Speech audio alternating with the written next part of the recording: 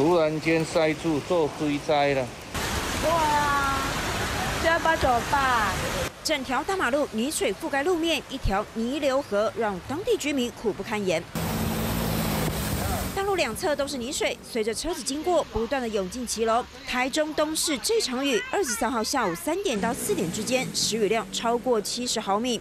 东坑路淹水路段附近有山坡地，大雨夹杂的边坡泥土。积淹水才会这么浑浊，排水问题还是怎么样？就就只有这个区间泥泞的水，连大概半个小时吧。那时候雨下多大？哎，很大，超大。所以排水不急的问题啊，这个的话也有请建设局也要来会看，看是否把这边两个小的涵管换成跟上面一样大的涵管。这场雨大约下了将近一个小时，幸好雨小了之后，水很快就开始退。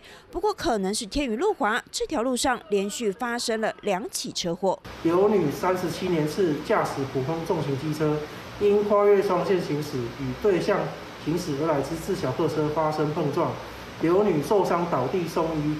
该自小客车驾驶于发生交通事故后，未停车下来查看有关肇事逃逸部分。本分局经扩大调阅监视器后，已将该肇逃机自小客车驾驶通知到案说明。救护车载着伤者离开，这两起车祸影响了当地交通，好几台游览车要经过都特别小心。还是提醒民众，下雨天视线不好，再加上路面湿滑，尤其是这样的淹水路段，更容易造成车损和意外。天气不稳定时，民众出门在外都得小心。三立新闻台中综合报道。